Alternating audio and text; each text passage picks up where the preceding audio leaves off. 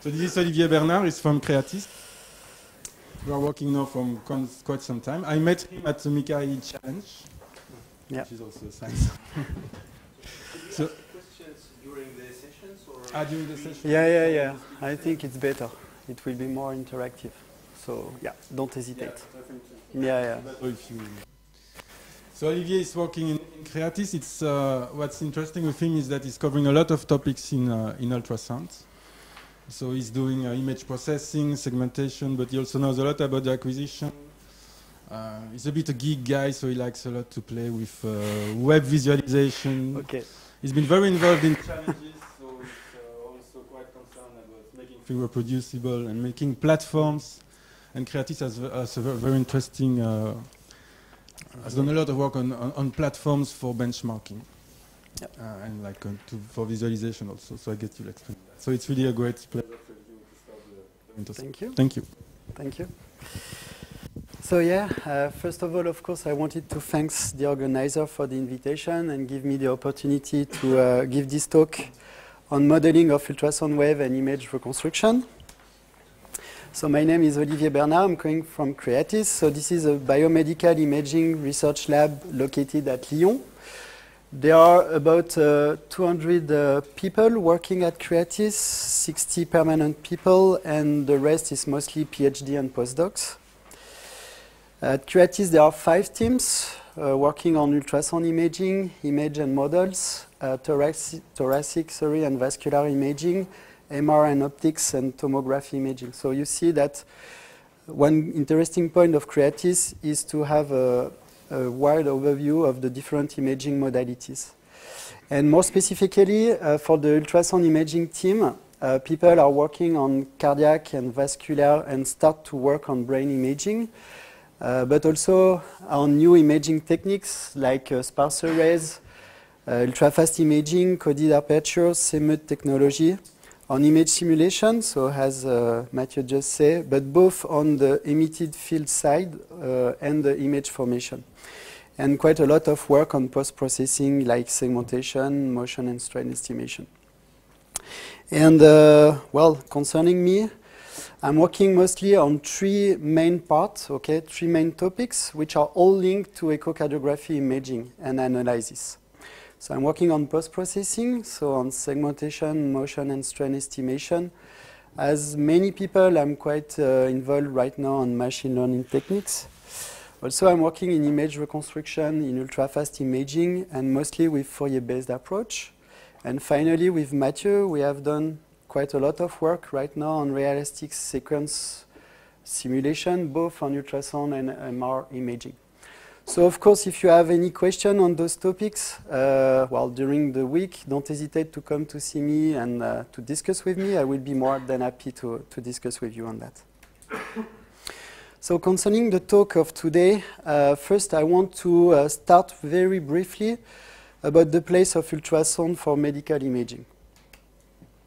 So uh, ultrasound is the most practical medical image modality. It's very easy to do ultrasound scan. You just need uh, one ultrasound system which does not take so much place, okay? You need the dedicated probe for the application. Uh, you need, of course, the patient, and you can do uh, an exam in real time, which is something very uh, interesting. Uh, the basic of ultrasound is very simple. Okay, so uh, here this is in my simulation the probe okay, with the different elements which are the piezoelectric elements. I will come back on that.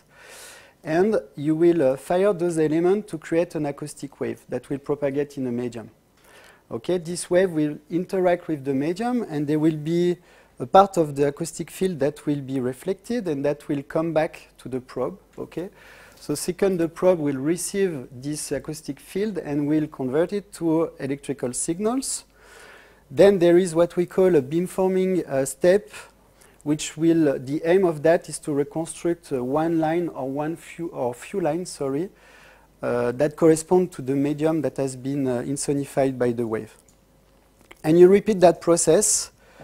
Uh, so this is the common way of creating images to, to recover the full medium and so to reconstruct your image. So this is the basic of, of image formation. during my talk, uh, I will put some equation, not so much, but uh, I love equations, so I have no choice but to put some equations. So they are in reds. There are few, but this is really uh, uh, important equations that, uh, that are used, uh, commonly used to recreate the images. So here, uh, you have your probe, okay? Uh, first, you emit an acoustic wave that will propagate in the medium. So Z, this is, okay, the, the space. We imaging a very simple case where there is only one scatterers. And so by the time that we emit the acoustic field, then uh, on that side of the probe we will re uh, record uh, some signal that we receive. So at the beginning there's nothing, okay? So the wave propagates, reach the scatterers that is positioned at position D, okay? At that time, uh, one part reflected and come back to the probe, and one part is transmitted. Okay, and so the time that the acoustic wave come back, then we are able to uh, measure something. Okay, so we will have something at T1, which is equal to uh, two times D over C. Okay, so you see that uh, there is a direct link between the time that we are able to measure something and the distance, two times the distance that has been traveled to reach uh, that uh, that phenomenon to, that we image. Okay. So first equation that is the basic to, to create the image. Don't hesitate on, of course, as I say, it should be interactive. So if you have any question, uh, just uh, ask me. So based on that, uh, we can use ultrasound to do 2D image acquisition. And depending on the application, we will not use the same probe. So for example, uh, we can do abdominal uh, imaging to, uh, to study a baby uh, with pregnant women, okay? But we also can use a cardiac uh, probe for cardiac imaging and to uh, detect potential pathology of the heart. these last 10 years, there has been a lot of research uh, to move to 3D. Okay, so this is the same application but in 3D. What is important to see here is that the same, um, it's not so hard, in fact, to go from 2D to 3D based on the theory that I will explain to you. Uh, we are able to do, uh, with some tricks, 3D uh, acquisition in real time. Uh, but of course, to move to, to 2D to 3D, uh, it has a cost, and the cost is the image quality. And uh, so there is a lot of uh, controversy on, use, uh, on the utilities or not to uh, use 3D compared to 2D. And we can discuss about that in the discussion if you want after that. Ultrasound can also be used to do blood flow imaging, and so uh, Damien Garcia uh, tomorrow will give us a speech on, on, a talk on that. And what is very interesting is that we can uh, couple the two imaging. So we can do the standard B-mode imaging coupled with the blood flow imaging, and so we can have both the anatomical representation and the functional imaging, which is very interesting, uh, and in real time, which is even more interesting.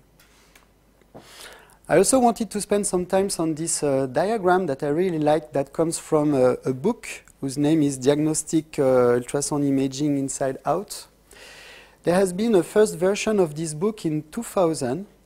Uh, so this is in, uh, in gray here, where they, they show, so I don't really know how they managed to get those numbers, but they, this is a rough estimate of the procedures of the use, let's say, of the different modalities in the world. So in, this is in terms of million per year.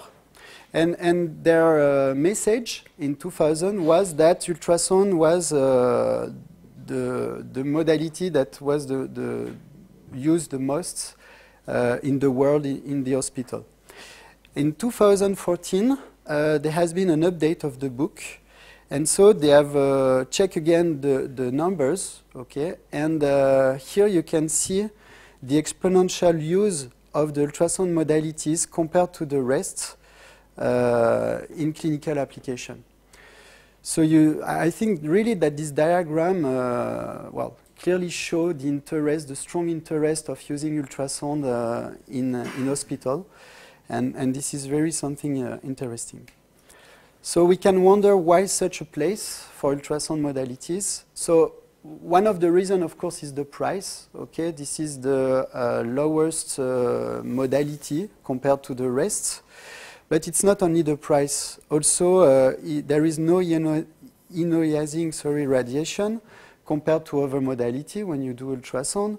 It's mostly non-invasive, uh, apart some uh, apart for specific cases which are uh, intravascular imaging or transesophageal imaging as we can see here. But mostly this is a non-invasive uh, modality. Also, it's uh, fast or even ultra fast, as you will see after with uh, Mathieu. We can acquire the few of uh, 100 images per second up to more than 1,000 images per second in specific conditions. Uh, while over acquisition takes several seconds or several minutes to do the acquisition. So it allows a real-time feedback to the clinicians when you do the acquisition, which is something very interesting. There is also an easy access to the scanner since it can be moved, so we can move it to the patient bed if it's needed. And um, I put those pictures, uh, well, it's still, I, I guess, uh, the, the, close future, but the future, but there is a lot of efforts uh, from the vendors to even more miniaturize US scanner. Okay, so here, for example, uh, they plan uh, to, to, be, to, to, to allow uh, the clinicians uh, to do ultrasound scans directly on a smartphone. So I, I guess this is still futures, but could be close futures. So this is very interesting. Okay, so that was a short introduction, but I think since I'm the first speaker, it was interesting to, to speak about that. Now let's go back to the business. And so uh, I will now uh, mainly talk on physical uh, principle of echography. There are three items, so acoustic wave propagation, the art of transmission, and the interaction between the acoustic wave and the insonified medium. I wanted to thank uh, Damien, who is there, and uh, Emmanuel Bossy from Institut Langevin, because uh, part of, of, of, this section has been strongly inspired by uh, some of their previous presentation. And in particular, Emmanuel Bossy did a very nice talk on wave propagation in a previous uh, summer school at uh, Lyon, which name is Opus. And a lot of the illustration that you will see comes from his presentation. His presentation is on YouTube, so don't hesitate to, well, to type his name and, and see. You will see the, the presentation is very nice. So, acoustic uh, wave are mainly, mostly mechanical waves that uh, is characterized by fluctuation of pressure and density. So I really like this diagram because it really illustrates nicely what's going on. So here you will uh, create a pressure, okay? This is the medium, and the dot uh, simulate particle displacement. And so this is a, a, new equation which is fundamental, okay, that link the pressure that you emit uh, with uh, the gradient of the displacement, uh, which can be seen, uh, seen sorry, as dilatation or contraction and the link is done with the bulk modulus. Okay? And so what you can see here is that the pressure, for example, the positive pressure that you will apply will have a contraction uh, effect. And if you apply a negative pressure, it will have a dilatation effect on the, on the medium. And this contraction and dilatation are locally spaced, meaning that the element will move around their equilibrium states. Okay? So if you have a look at the red point, okay, globally we have the impression that there is a wave that propagates, but if you closely have a look on the red point, the red point will move around its steady state, okay? But this motion will be propagated to the neighbors, and that will pro, uh, produce this wave propagation that we can see, okay?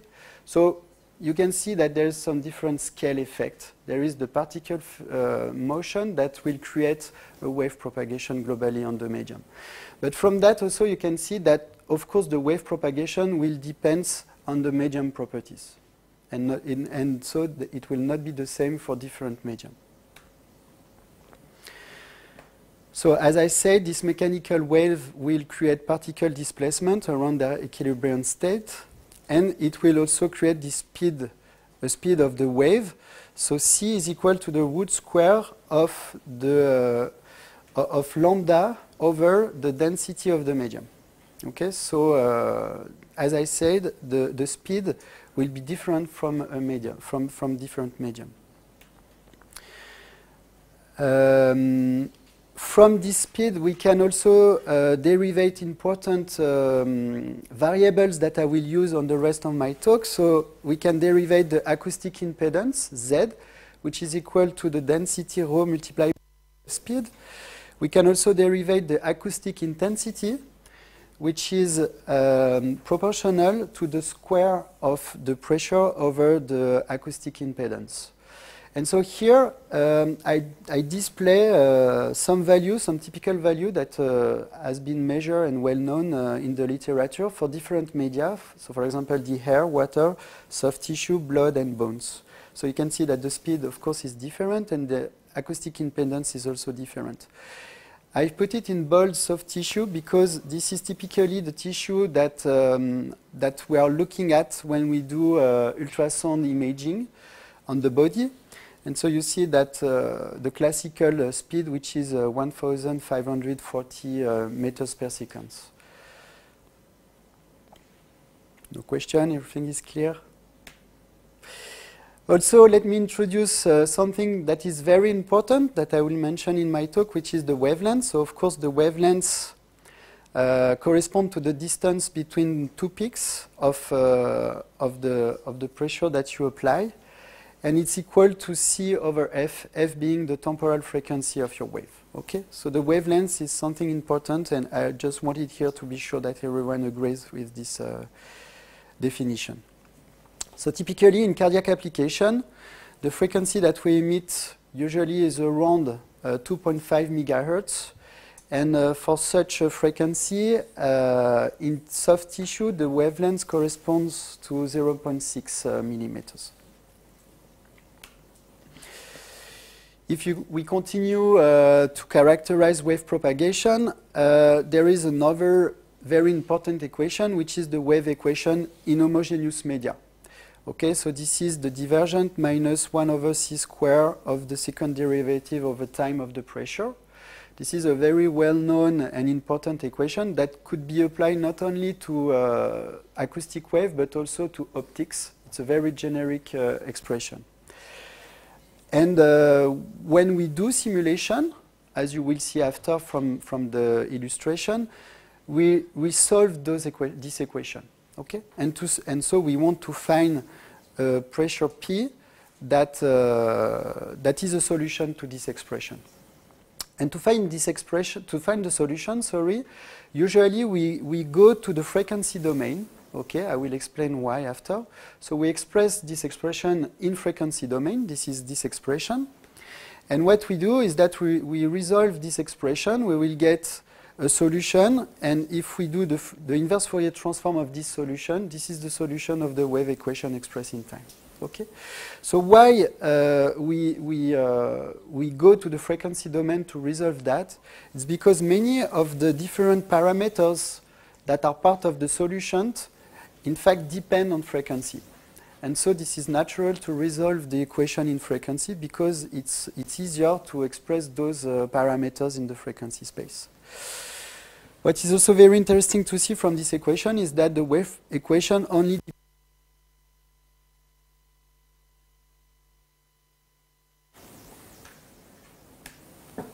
Okay, so now let's move to the art of transmission because it's hard, in fact. So, as I say in my introduction, from the, um, from the probe, uh, we will uh, emit a wave, and this wave, generally, this is a pulse that we emit, okay? We emit a pulse, and by the time that we emit a pulse, then we receive. We listen to the echoes that are, uh, that are coming back, okay? So this is a typical pulse that can be emitted, okay? So a pulse is limited in time, okay, and has a frequency content. Uh, in my talk, I will mainly uh, use two kind of wave. Plane wave, so uh, this is the representation of plane wave uh, from a pulse that has been emitted and so which propagates in a medium, and circular wave. sometimes I will say I will say diverging wave, but clearly this is circular wave that I'm speaking about. So sorry uh, for that. Um, so this is the two kind of wave that we use that are elementary that allows to do all the things that we want. In fact. So the first things to have in mind, of course, is that there, there are absorption, okay? meaning that the, the complexity of the medium in which the wave is propagating uh, makes the wave disappear okay, in the medium after, uh, after during, over the propagation, let's say. And this absorption is uh, typically can be expressed as dB per centimeters per megahertz. So that means that it depends on the frequency that you emit. And uh, for a given frequency, it will tell you the amount of uh, attenuation you will have uh, with depth. Okay. So typically, if you increase the frequency, uh, you will increase attenuation. Okay. So that means that with high frequency, you will have low penetration. And so also it gives you uh, an idea why we change the frequency of, and so we change the probe depending on the application and so the, the structures that we want to image. Typically for cardiac imaging, since we want to go quite uh, in depth, okay, more than 10, uh, than 10 centimeters, we will use a low frequency. Okay, so typically that's why we use uh, between 2.5 to 3.5 megahertz. But if we want to image, for example, the carotid, so something with, uh, well, uh, which is uh, quite close with few centimeters, then we will increase the frequency. Why, what I, I don't really say uh, in my talk is that the, also the frequency has the direct link with the resolution of the image that you will obtain. And ideally, we want to work with a high frequency because then the resolution will be very nice. Okay, but unfortunately for cardiac imaging, we are restricted to low frequency. By low, I mean around 2.5 megahertz because of this uh, absorption effect. Okay. Let's talk now about diffraction, which is something important. Uh, so imagine that uh, you design a piezoelectric element which is rectangular, and B is uh, the, way, the um, is the dimension of, uh, of your piezoelectric element. Okay, so this is B here, and you excite your piezoelectric element. If the dimension is quite big compared to the wavelength, so here it's 20 times the wavelength, then you will uh, create a kind of uh, plane wave that will propagate in your medium. Okay, so of course, since uh, the dimension of the piezoelectric is limited, it's not uh, an infinite plane wave. It's restricted to the dimension of your piezoelectric element. But if you see the wave propagation over time, you see that more or less it remains the same, if you forget about absorption, of course. Now, yes? The, what does the piezoelectric um, domain stands for? Is, the, is it the, um, measure, uh, the uh, measurement uh, electrode or what? I- does is the crystals. Uh, I will speak about that uh, later in my, in my uh, talk, but this is the source that will create the acoustic field. Okay? So it's crystals that uh, uh, you, you can apply vol- voltage on that, it will vibrate and create an acoustic field. But also, if it receives a pressure, okay, it will oscillate and create feedback, a signal. So you will be able to measure. So this is really the gate between electrics and acoustic field. Okay, but I will discuss more on that later on on my talk. What do we observe there? So here, let's say, imagine that you have your electric element there, which is quite big compared to lambda. Okay, so big crystals, if you prefer. On that part, this is the electrical signal that will excite. So only one. Okay, you create the pulse, so it will vibrate. Okay, and then you look the acoustic phenomenon.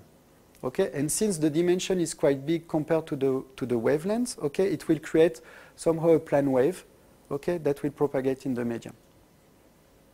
Okay. Now if we start to decrease the size of this piezoelectric element compared to the wavelength, so now we divide by 2, what we see is we start to see the diffraction phenomena, meaning that the wave that propagates first is somehow a plane wave, but with propagation tends to have distortion, as you can see here from, uh, from that time. Okay. So we want to continue. Okay, so uh, we still we divide by two. So now uh, b is equal five times of the wavelength. You can clearly see now the diffraction phenomena. we continue. Now B is equal uh, to lambda. And when B, so the size of the piezoelectric element, start to be at the order of the wavelengths, then you emit very closely a circular wave. Okay? And this is due to diffraction phenomena. And I, I think that this very nice example uh, proves you uh, why it's great, uh, things like that. We can continue to decrease B, okay, and, and then we have a perfect circular, uh, circular wave. Here it's no more, it's not still uh, a perfect circular wave because we can see at the emission that the intensity is not homogeneous over the wavefront. There is, there is more intensity at the center and less uh, at the extreme. Okay, but when we have uh, lambda over 2, then this is, uh, we, we, can assimilate it as a real circular wave. So the, the first big message, because uh, when I, I, was a PhD student, no one told me that, uh, but when you, you want to design a probe, the element which is fundamental is the wavelength. Everything is dimension around the wavelength. Okay, so really keep this in mind. You will see after when we will combine different piezoelectric elements. Also, the space between the piezoelectric element will be dimension with the wavelength. Okay, so this is something very important. Usually, when we want to characterize the emission of uh, the piezoelectric element, we use the directivity diagram. Okay, so this is uh, basically um, the, directive di the directivity diagram for different uh, lengths of the transducer. So when B is equal uh, 3 times lambda, you can see that most of the energy that is emitted is concentrated around the one direction. So this is closely to a plane wave. You, you should see this as a plane wave. If it was a perfect plane wave, there should be only a line there. And when you are uh, lower than lambda over 2, so here, for example, it's lambda over 10, then you have a perfect uh, circular wave. Okay. So now let's talk about interference. So this is something very important because uh, this is the reason why we can do ultrasound imaging, in fact. Okay. So, so that's why I say everything is made possible because of interference. If we go back to the uh, wave equation, so as I said, what we when we, we want to simulate wave propagation, we want to find the solution of this equation. And one fundamental property of this equation is linearity, meaning that if you have a solution to this equation that I will name P1, you have another solution to, to this equation, you have P2, the sum of the two is still a solution of this equation. So it's still a wave, okay? Uh, when we want to characterize the acoustic pressure, we, we, we express the acoustic intensity E, and if you, I, sorry, and not E, I. And if you remember, this is proportional to the square of the pressure, okay? And, and very easily, you can see here that when we go to acoustic uh, pressure, uh, acoustic uh, intensity, of course you have the sum of the square of, of the two pressure plus another term, and this term is interference. So you see that it's very easy to see that there will be interference, and this is due to the big property, the fundamental property of linearity of the wave equation. Okay, in practice, what does it mean? I have two uh, sources, okay, so this is only simulation, that emit a circular wave, and you can see here the effect of, oops, here the effect of the interference. They could be constructive or destructive, and so it will create specific pattern that will propagate over time. Okay, so this part is clearly due to this term over time. So now we will play with this interference to do what we want in terms of emission. So as I said, the probe is uh, is characterized by a set of uh, piezoelectric elements that are linearly uh, and regularly spaces, spaced. Sorry. The, the distance uh, sorry, between two uh, piezoelectric elements is called the pitch. Okay? And this pitch will have a, a very important uh, effect on what you will produce. So for example, here the pitch is two times lambda again. And, and what we do is that we excite all these elements the same time, okay?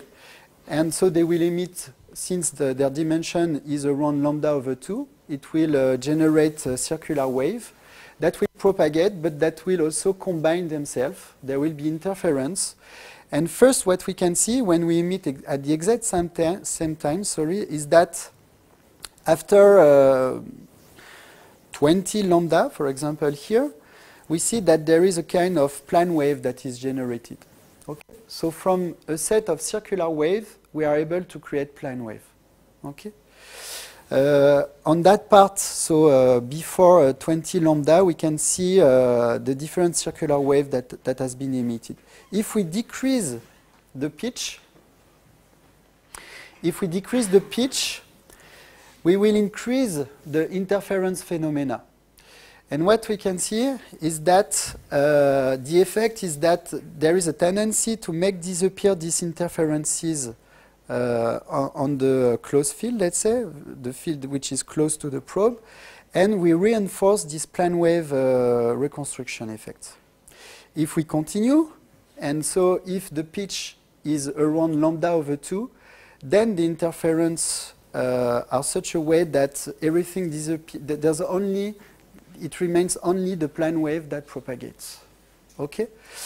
We can also see something very interesting which we call the side lobes, okay?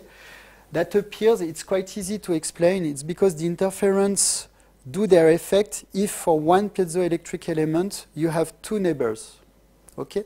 But of course, at the extreme of your probe, the, the, the, um, the piezoelectric element that are at the edge, there's only one neighbors. So the interference are not cancelling themselves, and so it makes appear side lobes. This is something uh, that, well, that is known by heart, I would say. Oops, sorry. Whoa. So to limit that, so and, and it could have a bad effect because, of course, if your wave that propagate is not clean, let's say, so if you have residual uh, acoustic um, phenomenon, then it will provide back some response from the medium that will have a bad effect in the image reconstruction. Okay, so you don't want to see those phenomena. So usually, classically, what we will do is name apodization, meaning that we will apply some factor on the excitation signal on each piezoelectric element. So usually we use that kind of shape for apodization. So this is, well, Gaussian, we don't, it looks like Gaussian, but this is not Gaussian, okay? Usually we will use um, Hanning and classical uh, window uh, that are well known in, in uh, signal theory, and that will produce that kind of shape if you want to emit a plane wave.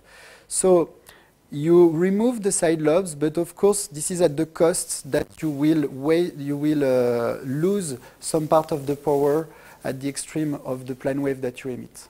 But then you have somehow a, a perfect uh, located plane wave that you emit in your field.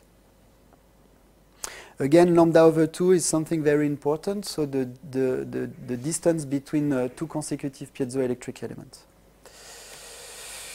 Okay, you want to do focusing. This is what is classically do uh, on uh, conventional, let's say, clinical scanners. So how to do that? Well, again, we will play with uh, delays to have coherent uh, uh, constructive uh, interference at a dedicated point.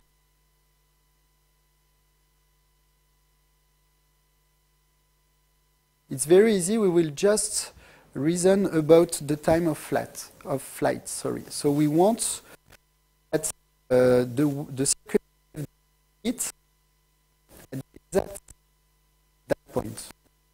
So can express very easily this distance which corresponds to this term minus this distance divided by c, which is the wave propagation, the law that you have, the delay law that you have to apply piezoelectric element to focus on. So this is just a matter of delay. You just have to apply delays to focus. Okay, and they are very easy to compute. So this is the example. So I'm putting on, on, on the good configuration, meaning a pitch, well, uh, each piezoelectric dimension is around lambda over 2, and the pitch is around lambda over 2. Okay? And we do focusing. So this is what happens. Uh, you can also see that, uh, again, you can have uh, side lobe effects. Okay, so uh, usually, classically, we do apodization also to have a very nice uh, acoustic wave, focus one, that propagates in the medium. Final, yes? Uh, in all this uh, consideration, you don't take into account the, the, the absorption of the Yeah. medium. Yeah. And, It's present. It has uh, a very strong effect on uh, all what you're uh, talking about. I Okay. mean, No, that's true. Here it's uh, more simplistic uh, to understand the different phenomenon. But you're totally right. As I say with absorption, absorption depends on frequency. Okay?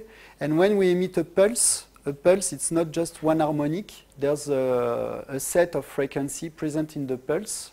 Okay? And so this is non-linearity, what you, you're speaking about.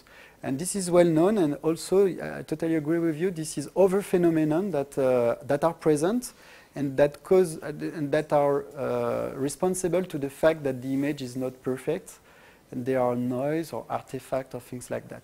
But here it's really uh, uh, for a pedagogic point of view to explain the different phenomena, but I totally agree with you that uh, non-linearity is present uh, in, uh, in, in ultrasound imaging.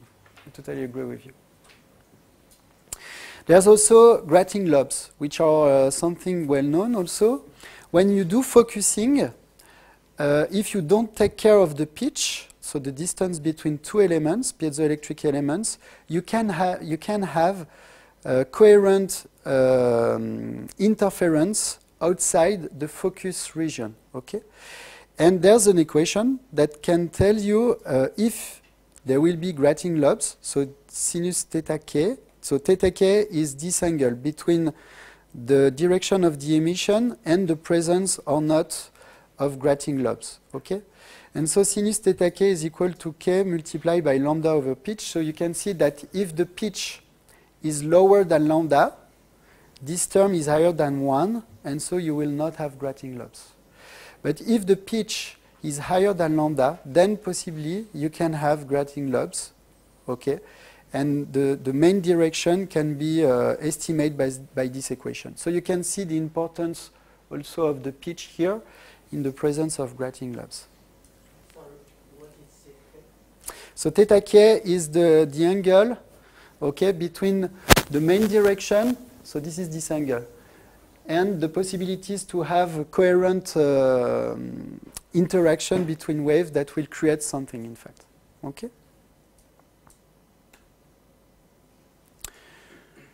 Okay, let's move to the interaction between acoustic wave and insonified medium.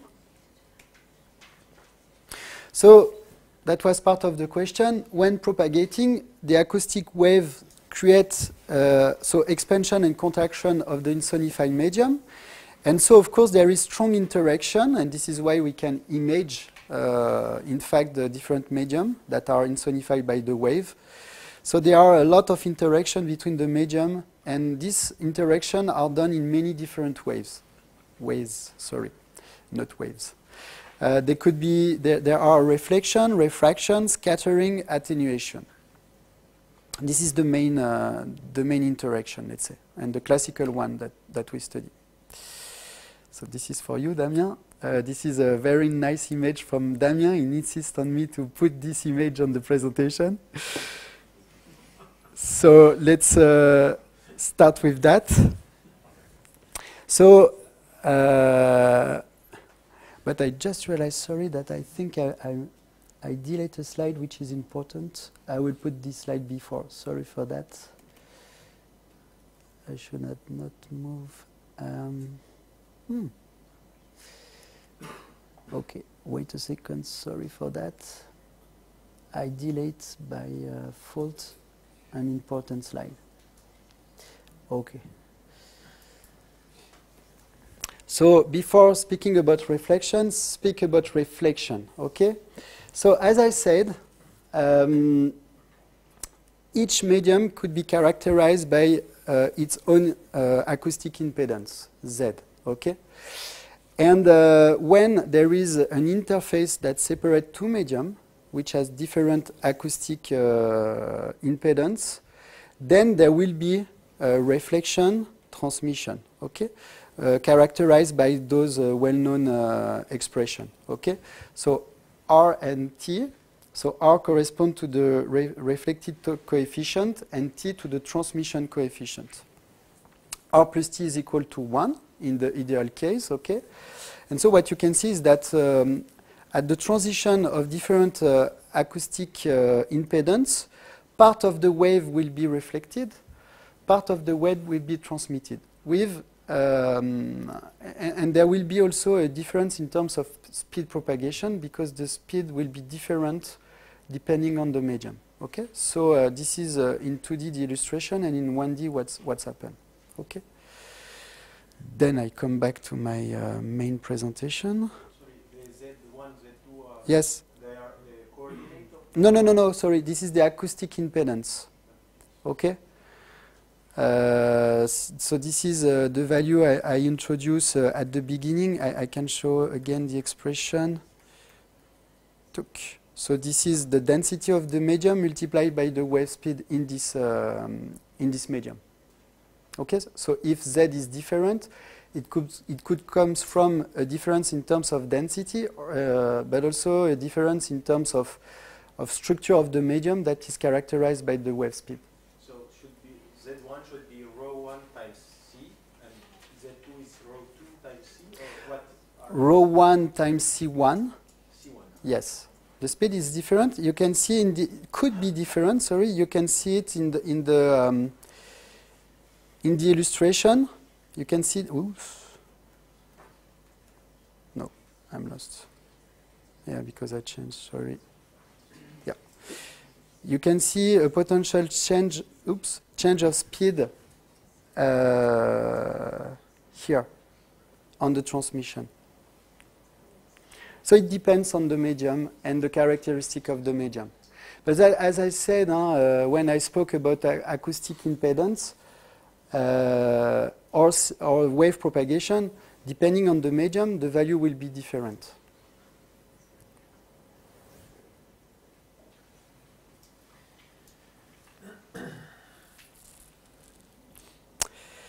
Okay. Now, uh, the case that I show was when the propagation was perpendicular to the interface.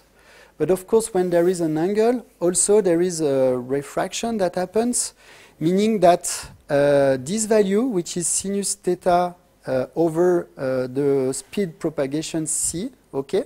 So theta is the angle, wow, perfect, between this axis and the wave propagation. Okay, so this is theta. It's nice, huh? I have my axis, it's perfect. um, is constant. So if the speed is different, then the angle after the interface is also different. And these nice pictures also, uh, because this, um, these properties uh, also uh, works for optics, okay? There are strong links between acoustic and optics in terms of wave propagation. Uh, well, I think it, it convinces you about what, uh, what I'm just saying right now. So those phenomena are also present, of course, uh, when we do ultrasound imaging. So typically, uh, usually when we spoke about uh, yeah, those interf interface, we, we, we provide this example where we provide here uh, the impedance uh, for the hair, the impedance of the skin. So basically, you want to put your ultrasound probe uh, somewhere to do imaging. And unfortunately, if we compute uh, the, um, the reflection coefficient, we can see that the value is 0.999. So nothing go inside the body, mostly. So this is the reason why we put uh, some gel, okay, to allow us to adapt the acoustic impedance between the hair and the skin, and so to allow the wave to propagate inside the body. So this is the reason why we use uh, gel. Ah, well, never mind. When we spoke about reflection, there are two kinds of reflection. There are specular reflection and diffuse reflection. Specular reflection is when the interface that separates two medium with different impedance is smooth. Okay? And so, uh, first and second, it's when the dimension of the interface is uh, bigger than lambda. Again, lambda has a, um, a strong um, effect on this uh, on this uh, reflection between two media. Okay, so the interface should be the dimension should be higher than lambda, and it should be smooth. Then you will have uh, the the specular reflection. But of course, um, in the medium, so in the body, uh, well, your surface uh, could not, uh, well, could be also not smooth, of course, could be rough. And in this case, uh, if there are reflection, you can understand that the incidence of the wave with locally uh, the orientation of your surface uh, will uh, make uh, reflection of the wave in different direction. And this is why we say that this is diffuse, uh, this diffuse reflection. Okay, so also there the dimension should be higher than lambda, but this is when there there are rough surface, and this is a phenomena that happens uh, in the body. So uh, when we do uh, ultrasound uh, scan, so for example here with uh, the skull, we can see what we will name a specular uh, reflection. Okay, so let's say that the surface, of course, is bigger than lambda and is quite smooth. But for example, in this part in the brain, then we will have diffuse reflection. Uh, will create that kind of, of, im of, of uh, image property that I will uh, discuss more uh, just after. So now let's speak about scattering. So differently to what I just said, scattering, sc scattering sorry, is when the structure, the dimension of the structure that is reached by the acoustic wave are lower than lambda. Okay? And of course that could happen in the body. So for example, typically uh, for the blood, okay, if we consider that the, the red cell are mainly uh, the one that cause the acoustic wave to come back to the probe, their dimension is around 8 uh, micrometers, which is definitely uh, lower than lambda, which is around yeah, higher than 0.1 millimeters, let's say. And so the scatterers, if the dimension, so we will name a scatterers uh, structures whose dimension is lower than lambda, and when the wave propagate and reach that scatterers, it will emit a circular wave. We can see it like that. Uh, that will come back to the probe. Of course, there's not only just one scatterers, there's many scatterers. So, of course, this is exactly uh, the complementary way of what happens in emission, where we will combine circular wave and play with interference. There will be interference of those scatterers, okay, that they will all emit circular wave that will interact and that will cause the speckle. Okay, the speckle is really something fundamental that I study a lot during my PhD. Okay, that characterize, in fact, uh, somehow the medium that has been reached by the acoustic wave, and this happens because of the uh, combination of the interaction between the scatterers. So this is here what I'm illustrating. When there there are a lot of scatterers, okay, there are combinative interaction that could be destructive, constructive. We don't really know because it depends on many things, and, and actually we don't really want to know exactly what's going on. But clearly this is a, a signature.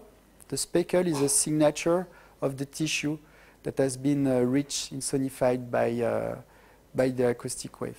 And this, of, of course, happens for plane wave, uh, focus wave, or whatsoever. Okay?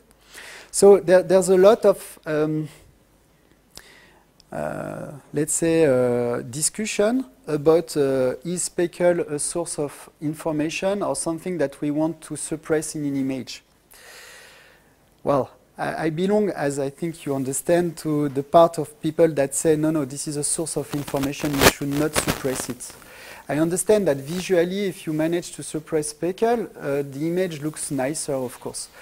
But this is my own opinion, huh? um, and there's a lot of discussion on that. But for me, what is very interesting for ultrasound is the real-time uh, visualization of phenomena. Okay, this is this dynamic visualization, and speckle is something very great because it's during motion. It's it, this is somehow coherent, and so it's like uh, you're doing a tag MR somehow. You have you have a dedicated pattern And what the specialist is doing is he try to follow this pattern over time. Okay? And he make the assumption that the pattern follow the real motion, which is not true. But, uh, well, it, it, it, could be true uh, for slow motion, or if, for example, you go to ultra-fast imaging, uh, where there's a lot of very nice opportunity, but we can discuss on that. Okay, so basically this is what I, I, just said. So this is responsible, this scattering of, of the intrinsic speckle nature of ultrasound. Uh, I think uh, I discussed a lot on that already. Okay, what time is it? Okay, few times still?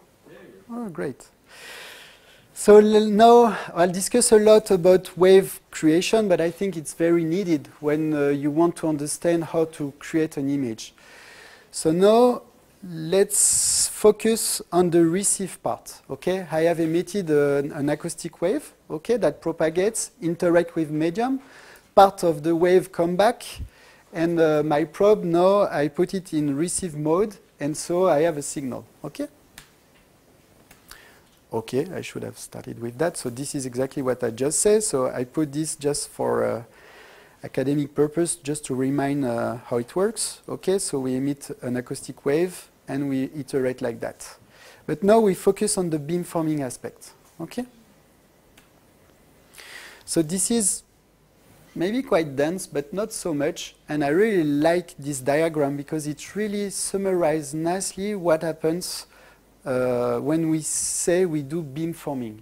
Okay, beamforming is a very a, a key uh, word okay, that uh, many people use. And when they say that they do beamforming, well, in the classical way at least, this is what they have in mind. Okay?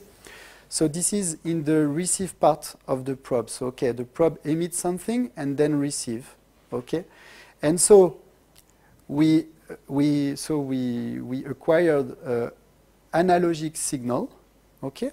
And first things that we do in terms of analogic uh, treatment, okay, process, is that we apply a time gain compensation because we want to fight against this absorption, this natural absorption things. If we want to do very nice stuff, we should adapt this time gain compensation uh, on frequency domain, okay? Because as I say, we emit a pulse, so there is a lot of frequency that are, that are present in the pulse, and the absorption vary according to frequency. Well, I'm not uh, vendors, but from what I understood, uh, the TGC, the time gain compensation, since this is in analogic, this step, uh, this is something that do not depend on frequency. Uh, but again, maybe it depends on vendors. Uh, but from what I understood, this is a linear uh, stuff that we apply at that level of the process to fight against this natural absorption of the wave. Then we do uh, analogic to digital uh, converter with uh, sampling frequency fs here, okay? Uh, and, and really, um, really then we do something uh, that I will discuss uh, more after, which is for me important. So at that level, what we have is what we name the RF signal, the radio frequency signal, whose sampling frequency is correspond to fs, okay? Uh, but because of the property of this signal, and I will explain after why, uh, we can compress this signal in a very smart manner and create what we name the IQ signal.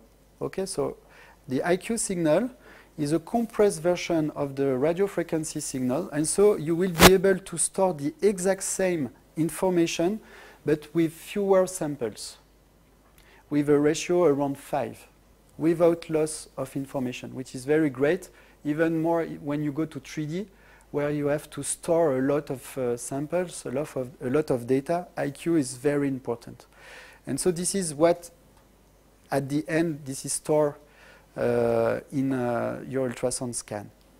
From the IQ, you can either compute the magnitude, well, this is a complex signal, okay? IQ is a complex signal, okay? But uh, using the magnitude, you can uh, get what we call the non-log envelope image. You apply a log compression and you have your B-mode image. Okay, but you can also use the IQ uh, to do color flow processing. okay, based on different property of the IQ signal.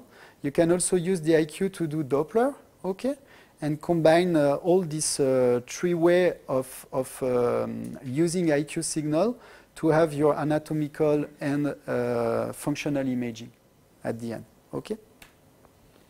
So let's uh, have a closer look on the transducer technology. So as I say, uh, let's say the main component of a probe are the piezoelectric elements. Okay, so this is the diagram that characterizes the piezoelectric element.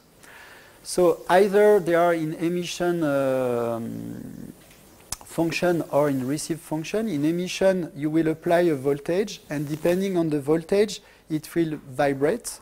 So you can uh, very, very easily control the, the vibration of the piezoelectric by the electrical signal that you apply uh, on these uh, on these uh, crystals. Okay. Of course, they cannot uh, vibrate from zero to infinity. Okay. And depending uh, on the piezoelectric element, uh, you will have a, range of vibration that you can have. Okay. but what is very interesting with this piezoelectric element is that in the receive mode, if they receive acoustic vibration, okay, uh, then they will create an electrical signal that corresponds to this vibration. Okay.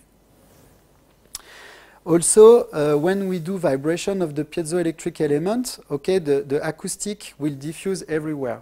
And we want to focus the diffusion uh, the, of, of the wave only in the medium, so in one direction, okay, which is in front of the probe. So usually, usually we put what we name backing materials, okay, to absorb uh, the, the vibration uh, behind the probe. Okay. There's also yes. Is it uh, registrating at the same time that it should be that some lapse of time between? The I will discuss about that just after. Yeah, but this is a. But let's let's keep in mind that we control the excitation uh, very nicely. We need to control perfectly the excitation of the piezoelectric element, but uh, in a separate way. Okay, individually, let's say.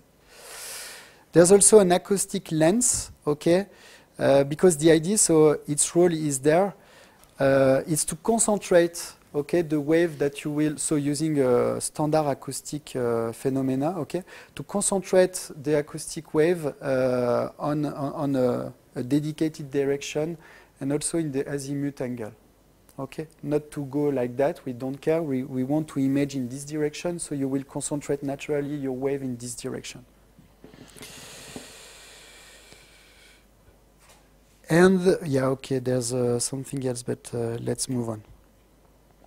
So typically, uh, well, since I'm, I'm working a lot with cardiac imaging, I put example and values for cardiac probe. So we use what we name a linear phased array in cardiac imaging. So typically the number of elements are 64. The pitch is 0.28 millimeters. The height of the element are, are 13 millimeters.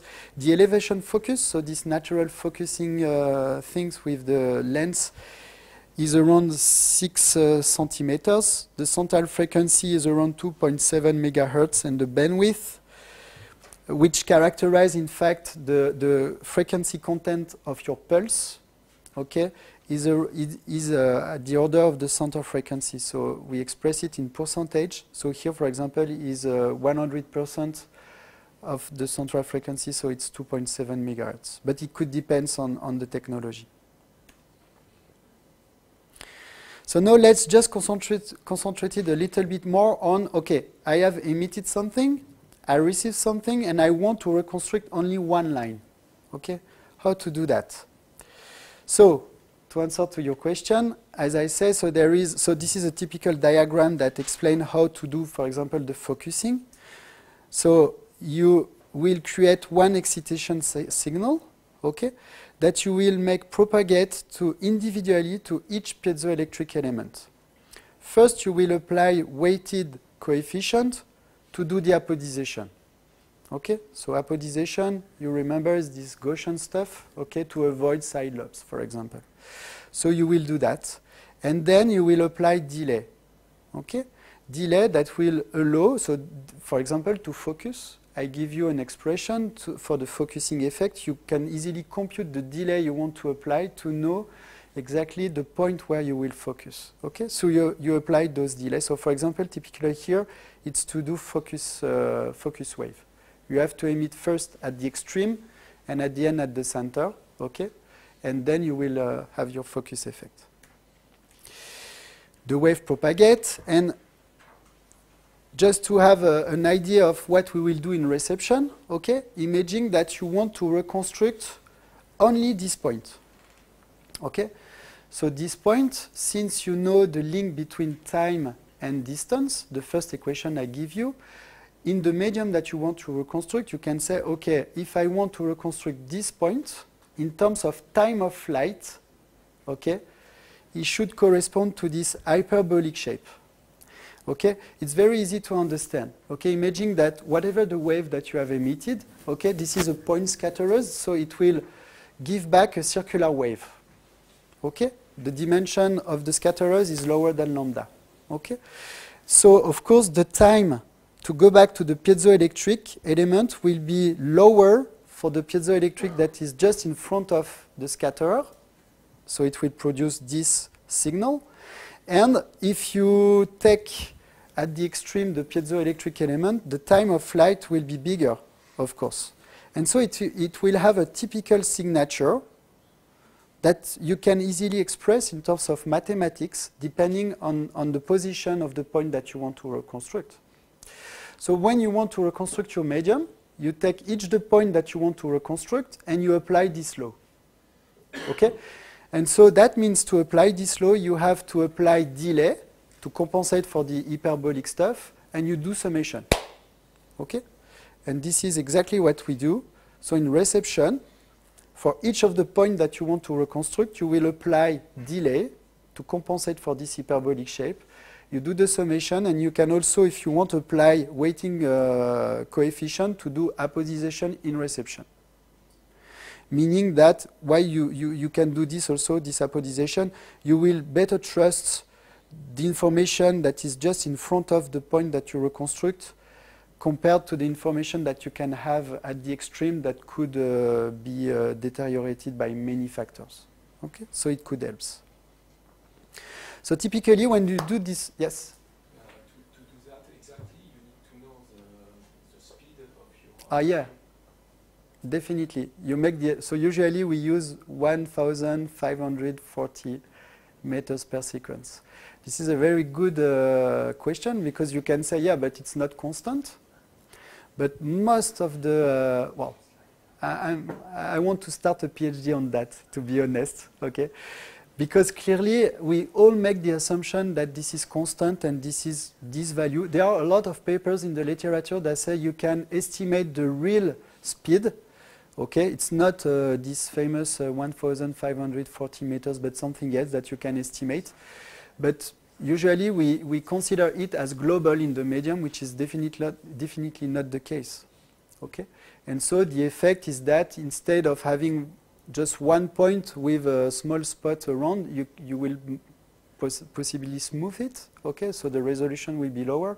The contrast could be lower because then you will not sum all the nice information together, but there will be distortion that will not take into account, and so the signal to noise ratio will be uh, will be lower in, in that. Uh, so it could affect the quality of your image, but usually we consider it as constant because it's definitely easier, definitely. This is a good question. Um, so when you do the summation, okay, you have this RF signal. And if you do the Fourier transform of it, you can see that this is really um, the property of this signal. And this property is very interesting, and this is why we go from RF to IQ. Why? It's because, as you can see, it's band limited, naturally. Okay? And it's band limited to, well, I name it Fs, sorry, here it's F0, to the frequency, the central frequency of the emission of your probe. Okay? So you emit, for example, at 2.7 megahertz. The RF signal that you receive, if you do the Fourier transform, it will be centered to 2.7 megahertz. Okay? And there is the bandwidth, okay, which is of the order of the central frequency. Okay? But then you can see that if you want to be able to process uh, this data, you need uh, to uh, apply a sampling frequency which is, uh, well, quite high, okay? Uh, it's two times uh, the maximum frequency. Huh? The Nyquist tell you, the Nyquist uh, property tells you that you have to, um, to sample the signal two times the maximum frequency, which is there, okay, which is this point, okay? So for example, typically if it's 2.7, let's say that uh, it's around 5 or 6. So you have to multiply by 2, okay? So it should be uh, higher than 12 or, or 13 or 15 uh, megahertz, the sampling frequency. But this is, uh, well, this is bad to do that. Why? It's because all this part is not needed, in fact. And since this is a um, band limited signal, uh, which is a, a modulation, uh, demodulation um, properties, okay, in fact, ideally you just want, if you are able to, to store this information, only this information, okay, then you will be able to treat ex the exact, the exact uh, same information, and so you will have the, the exact same image that you will reconstruct. So in fact, you just need this part of the spectrum. And this is what happens with IQ signal. Okay? With IQ signal, so if we uh, roughly modelize the spectrum like that, okay, so center to 2.5 megahertz, okay, what we will do first is what we call down mixing, okay? So we shift the spectrum, okay, the right part of the spectrum to zero, okay, the central frequency, we know it, so we can shift it to zero. Okay. So of course the the uh, module of the spectrum is no more. Uh, there is no more parity. So that's why you're working with complex signal. Okay. Then you can do a low pass filtering only to keep this. Okay. And this one you will be able well, to, to, to retrieve it, you need to uh, follow the Nyquist uh, equation. So that means here the, the maximum frequency is 1.5. So you need to sample two times, only two times this value. So you are about 3 megahertz instead of the 10 previously in this equation, in this diagram. So you see that you will keep the exact same, and I insist on that, the exact same information uh, but uh, with a sampling frequency which is definitely lower, and so you can reduce by a factor of 1 to 6 the sampling rate. Okay? So to do the down mixing, well, if people are, are, are knows uh, about uh, signal processing, well, it's only a convolution by a ex uh, complex exponential, okay? A multiplication, sorry, by a complex exponential. So what you have to do and that's why we have I and Q. We will do cosinus and sinus, okay, to uh, modelize the exponential. And so we will create the real and imaginary part of the complex signal that we will store. Then we do the low pass filtering and we do the decimation. And this is exactly what we do. So this is on the top the RF signal, okay? You compute the I and the Q as I just said and this is the signal that you obtain. So you can see visually that you can uh, sample you can sample those signal with lower uh, uh, frequency sampling, okay, because the variation are smoother. And for example, if you do the magnitude, if you use the magnitude of the IQ signal, okay, by this equation, this is why we name it envelope signal. It corresponds exactly to the envelope of the RF signal, okay. Now, from this envelope signal, if you directly display it, so this is the normal, so I'm doing this for each of the RF uh, signal that I receive. For each firing of acoustic, uh, of, of acoustic wave, I reconstruct one RF signal and I compute the envelope. And I do this for each of the emission. This is the image that I obtain. This is an image of a carotid. And unfortunately, you can see that there are, so the, for example, the, the interface where there are strong reflection are dominant in the image, and we can just see that. So what we do simply is that we apply a 20 log base 10 of this image, okay, so to change the dynamic and to reinforce low signal compared to this high signal. And so this is the image that we obtain, and this is the B-mode image.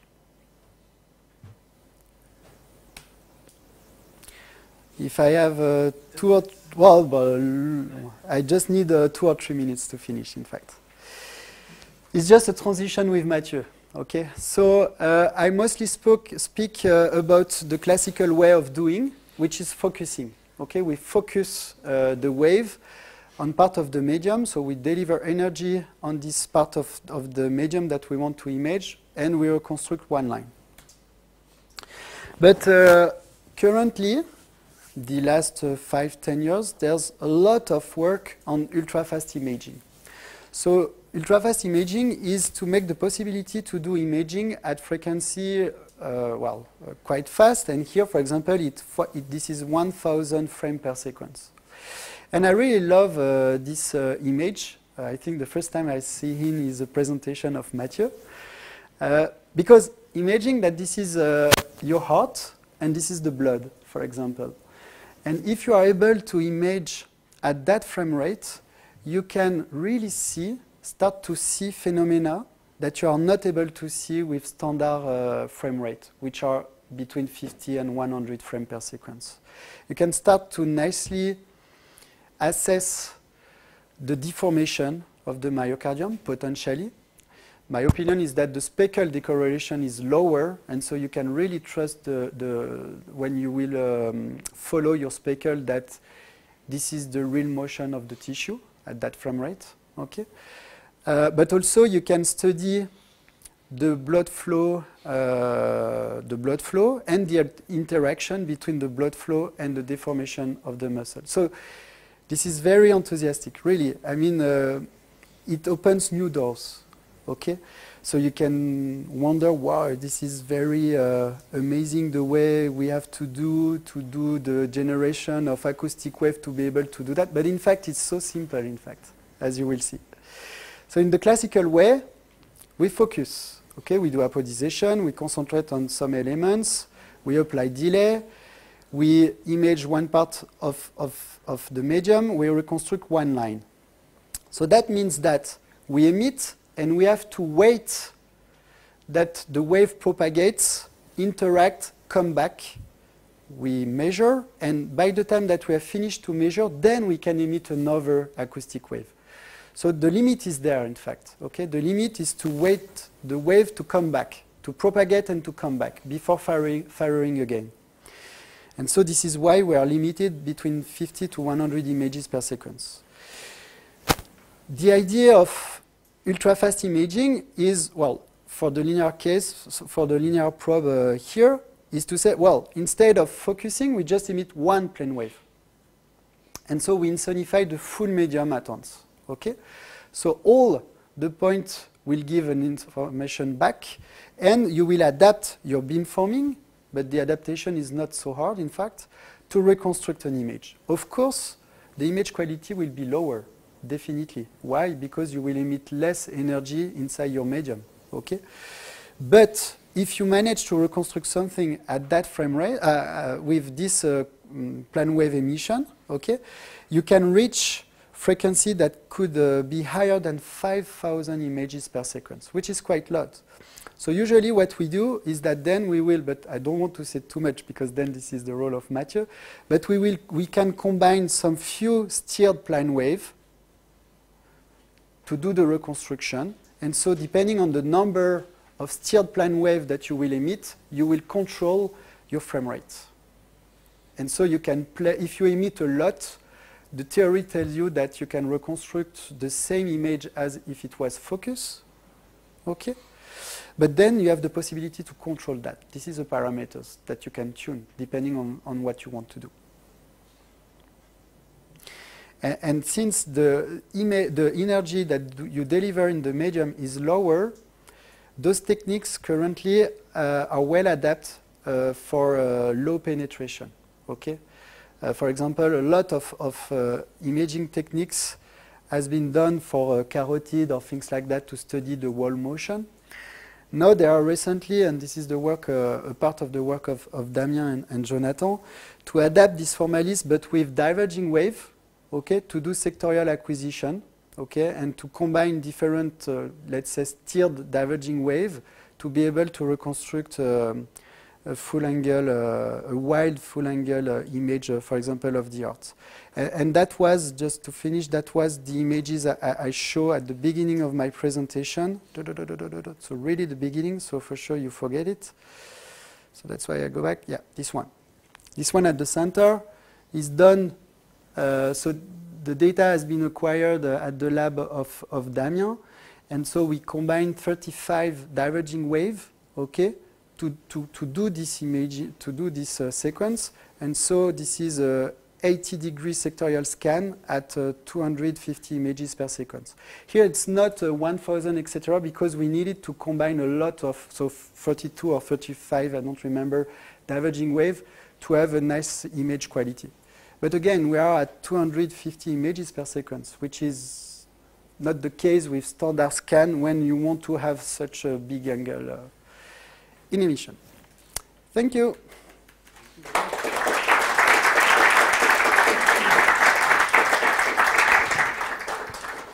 Are there any questions? I'm going to ask for the question. I forgot, but if we could use the microphone, because I know it sounds stupid to be speaking when it's not amplified, but it's for the recording. So if you wouldn't mind, I will leave it here for the next.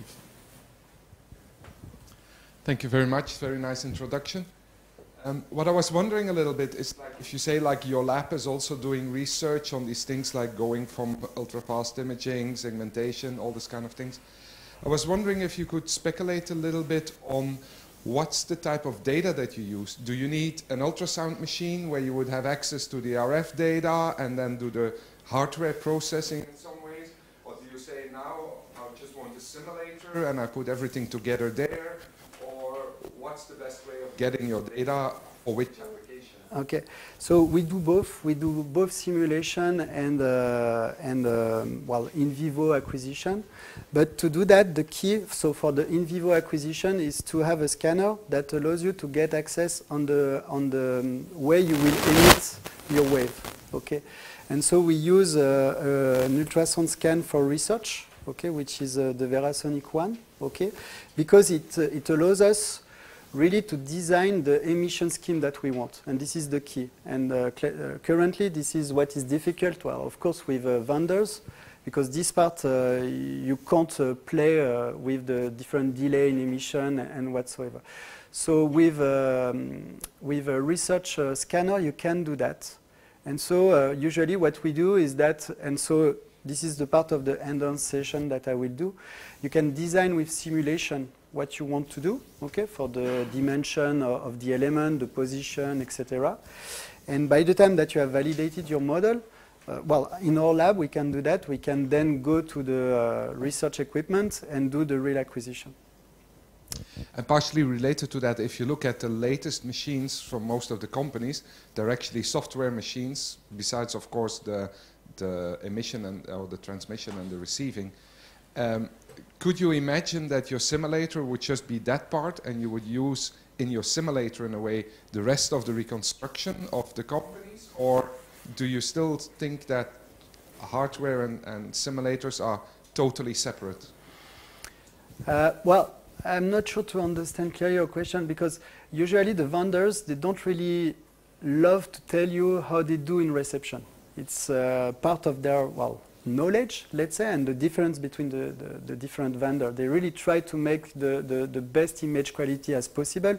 So, for example, um, yeah, when I, when I say here, okay, to go from the envelope to the B mode, we just apply a 20 log base 10. But for sure, there's many things that is done there by each different vendors to make the image as best as possible. And this, we, we don't have access. So we don't know exactly what they apply, okay? And so uh, we have no choice but to program uh, on but theoretically, own. you could feed the AD converters, no? With simulated data. Yeah. But nobody's doing that for the moment. To do what exactly? I'm not sure to understand. So that you say the processing is done by the machine as it is now, because it's software anyway. Yeah. What you need is you just need your signal, which can be a real measurement, or could be a simulated signal in some ways also. So if you put an RF signal in, it could be theoretically a, ah, kind of a generated Yeah, RF but we, signal. ca we can't interact like that with vendors. We can't put, I'm not sure, but I, I don't think that you can put as input a simulated RF and then say, uh, okay, uh, apply your, uh, your reconstruction uh, method. Uh, when I say apply, I mean the machine of commercial machine, to say, okay, pro and, and so reproduce your B-mode image. I don't think that we have access in this direction. Unfortunately, I would say, of course, but okay, it's part of the business, I can understand also. Thank you. Yeah. Any other questions?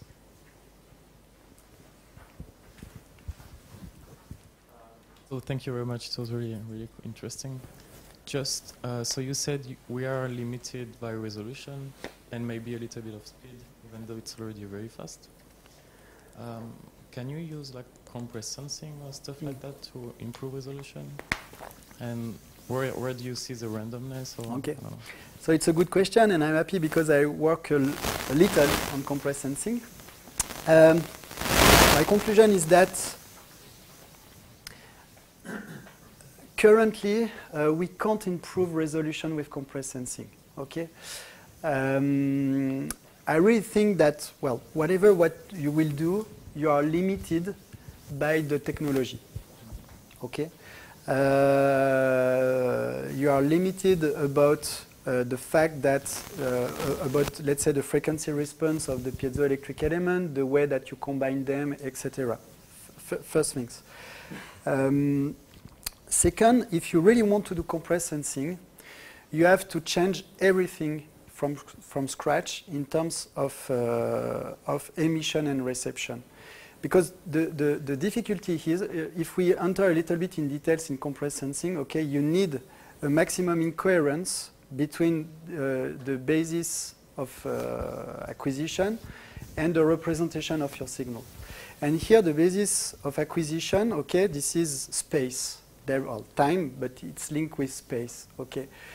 And the basis of representation of your signal, usually the classical one that we use, with, which is uh, with wavelet or, or what, whatsoever what you want, they are not, definitely not incoherent.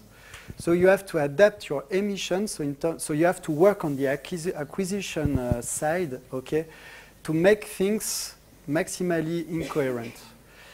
And I know that there are people, for example, at EPFL with Jean-Philippe Thiran that work a lot on that, and they start, and I think they are the first to, to really reinvent the emission scheme to optimize this, this incoherency. Okay, so there's a lot of work to do, but still, I think that what they, they start to show is that they are able to reconstruct same image quality, but with fewer samples. And I think that we will remain with that. It will not improve the image quality because it's it's too much uh, governed by, by the, the, the physics of the element of your probe that you use and, and yeah, the different uh, elements that you use. Maybe uh, just one quick question. Are you triggering the acquisition with the ECG? Can you use this ECG to improve the quality? No, no, no. Uh, well, for, for, for the last, uh, well, but Damien, maybe uh, this is the one who did I the acquisition. say, uh, for research can do that, but uh, in practice it's not that easy because the, change from, uh, from one cycle to the, to, to the next one. So uh, doing ECG, ECG uh, triggering, well, you can apply this technique for, uh, for some specific research tools, but I mean the clinical practice I think is not useful because uh, the algorithm is changing a lot for, for, for every patient from one cycle to the next one. Uh, so I would say that is not the best solution. You could, you could do some uh, temporal registration, something like this, but uh, if you want to get something in real time for, for the clinician, so imagine that you cannot do that. In reality, what you see is that ECG trigger is used if you want to do 3D acquisition, that you don't have enough time space within one cardiac cycle. Then you will start to do triggering. Yeah. But within one cycle to do real time, triggering is not very useful. Yeah. It's just to compose higher kind of frame rates than later on using multiple. That's why in MRCT you almost always do triggering, but in ultrasound rarely. Yeah. You have been talking in the beginning about machine learning, Yep. maybe in your Yep. research. Yep. Um, how do you think that it could improve the quality of the image? No, No. no, no, definitely not. Otherwise, it will be regression, fake. even with regression techniques I to do not agree. Well, but it's uh, it's cool. I mean, uh, open discussion. We can discuss on that. I, I, I don't agree. I think there's several ways you could uh, Okay. imagine using machine learning. There was a publication in I think early 2000. I forget the authors, but they were using a neural network to um, and to do regression between phenomenal imaging and uh, harmonic imaging.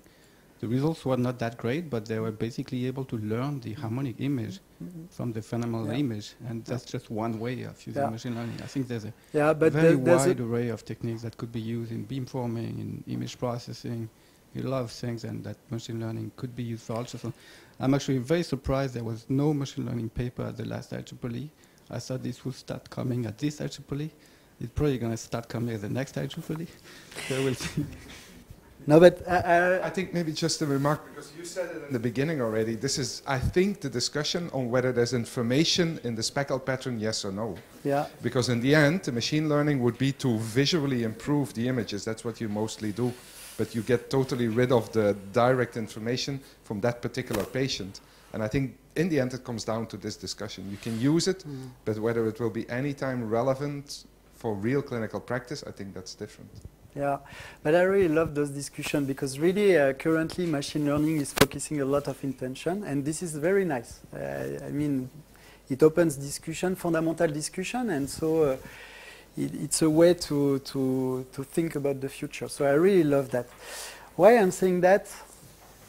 For, for image quality, the more I work with ultrasound, the more I have the feeling that everything is linked to the physics of the generation of the phenomena and the post-processing, because we can see uh, machine learning as post-processing, um, are too much conditioned about this, uh, this physics. Um, the difficulty, for example, with machine learning, where you will uh, learn things to reproduce things, for, for example, for the second harmonic uh, based on the fundamental, of course, it's a simple uh, answer that I will, I will give, but this is the singularity. Meaning that if the case that happens, you haven't learned it, it will be difficult to, uh, to, reproduce it. And, and when we do medical imaging, we are fighting with singularities. We are looking for something that happens which is maybe not the classical stuff. So I think machine learning could be very great to do other things, okay? So for example, like post-processing, like segmentation or tracking or potentially just by image, you, you put images and you say, ah, okay, take care, maybe there is this pathology, just based on image, without any segmentation or whatsoever. Why not? But for image quality, I'm still not convinced that uh, it will really uh, produce uh, uh, fundamental stuff. But this is again, I'm not saying that I'm right. This is more some kind of belief.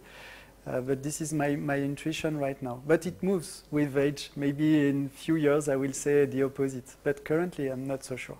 But I think a lot is also important is whether you want a nice image or whether you want to have an informative image. eh? I saw some work of EPFL recently on phase contrast CT reconstruction using machine learning so that you could use less projections. And the images looked nice, but when you started to look at the things that you really want to get, especially for research, they were smoothed out in the end. So in that sense, like, Yeah. I think indeed for processing Yeah. nice acquisition, Yeah. I think it's still very, very yeah, dubious. Yeah, I, I really think the best is to have all the information in your acquisition, even if it's not the best looking stuff, but the information is there. And then you can apply machine learning to extract it. But you have to have it from the beginning. So that's why it's the limit right now. I, I, I agree with you. But again, I'm not saying you're, you're wrong again. Huh? It's Yeah. open discussion and let's see in the future what happens. Any other questions? Yeah, there's coffee outside here in the corridor.